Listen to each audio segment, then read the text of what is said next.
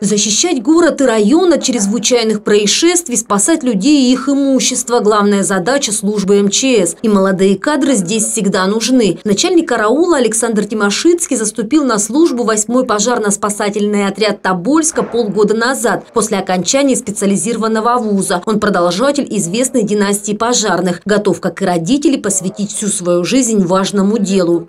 Конечно, профессия героическая. Еще в детстве я даже не подумать не мог, что я окажусь в такой структуре. Вот. Ну, я поступил в институт, я его окончил, и сейчас ни капли не жалею об этом. Наталья Таскаева, инспектор отделения надзорной деятельности и профилактической работы, тоже молодой специалист. Выбрала эту структуру не случайно. Есть кого брать пример. Папа – командир отделения пожарной части в селе Вагай. И хоть ее работа отчасти бумажная, в случае необходимости готова ринуться в бой и прийти на помощь людям.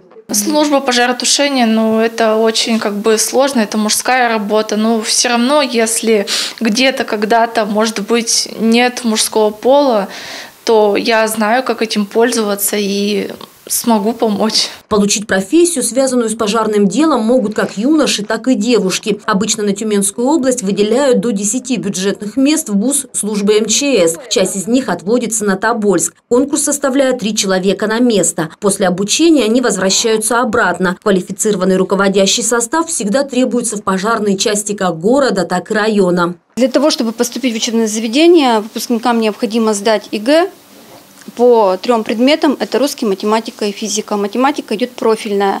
Кроме этого, на базе уже учебного заведения они проходят э, еще дополнительные испытания. Это по физической подготовке они сдают нормативы.